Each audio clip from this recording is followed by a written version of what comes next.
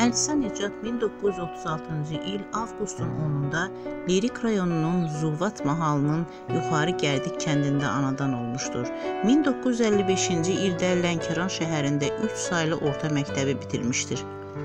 1957-ci ildə Azərbaycan Dövlət Universitetinin Filologiya fakültəsinin kitabxanaçılıq şöbəsinə daxil olub, 1963-cü ildə oranı bitirmişdir.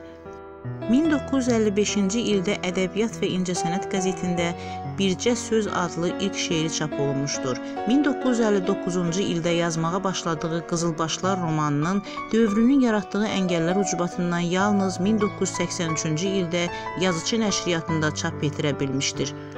1961-ci ildə Gecəniz xeyrə qalsın ulduzlar adlı hekayəsi, 1964-cü ildə isə şeirlər kitabı olan Yay axşamı, 1970-ci ildə Bir qız üçün Çinar adlı ilk hekayələr kitabı nəşr olunmuşdur.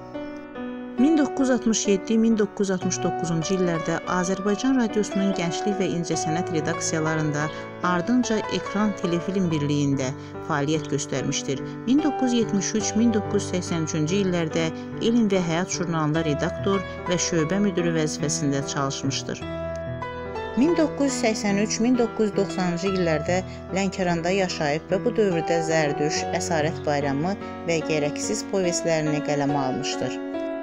1982-ci ildə Plutarxın Makedoniyalı İskəndər, 1983-cü ildə isə Məhəmməd Tarixin Şeyx Şamil kitablarını tərcümə etdirib.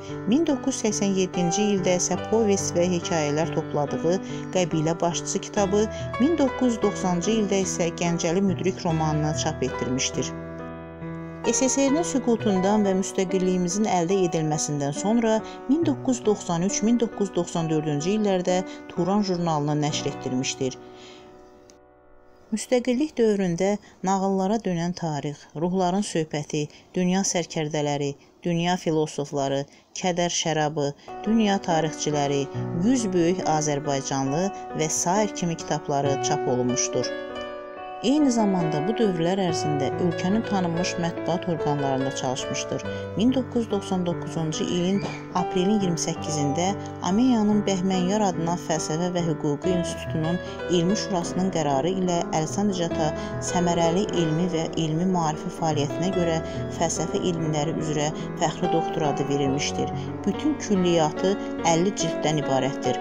Bundan başqa çox sayda tərcümələri, şeirləri, esseləri və polisler vardır.